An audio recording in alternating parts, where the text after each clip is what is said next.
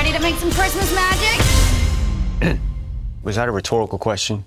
That was supposed to be inspirational. Sounded rhetorical. How about you guys? Whatever. Let's get started. So, first, I'm curious, Chad, from your perspective, what do you think makes Luke say yes to Ashley's idea in the first place, considering they had only just met and he has a sort of bitter recent history with City Girls? Uh, that's a great question. And that was a question that I was dealing with just as an artist, trying to find a real reason for him to want to go in. I think the push and pull is there, but, you know, movie's only 90 something minutes, so you got to tighten that up. Um, ultimately, I think seeing her passion and her love for the rhythm room, seeing and working for her parents and knowing the hard work that they put into this place, honestly, at the end of the day, you just want to do the right thing and, and take care of the people that you care about.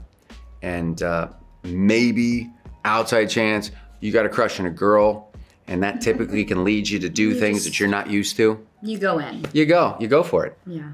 And I know at the end of the movie, Ashley says she doesn't quite know what's next for her yet.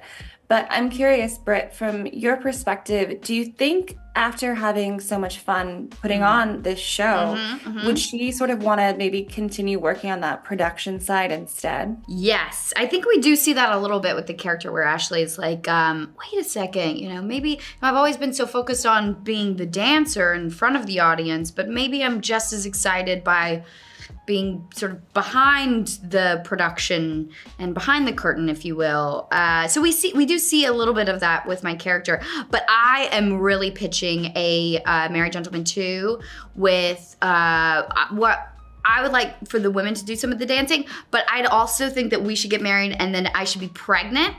And because I'd like to do some like sexy belly work. I think that'd be cool. Mm. Rihanna did it. Exactly. Yes, that's what I'm looking for. So I, if if your question was to say like what's the future, I think it's gonna look a little something like that. Maybe More there's like merrier, more gentlemen, and a baby.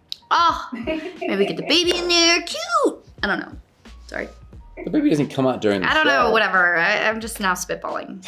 It's fine. And in your guys' opinion, what makes Ashley and Luke work together? And what was it like forming that dynamic?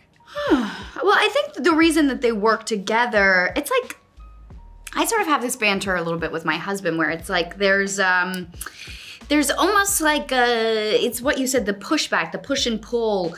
There's something that's like flirty and fun about it, you know? And and the more they are in on it together, the more enjoyable the whole process is.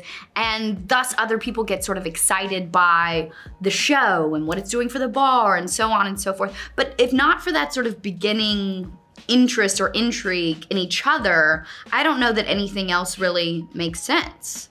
So it's the setup that's, you know, kind of.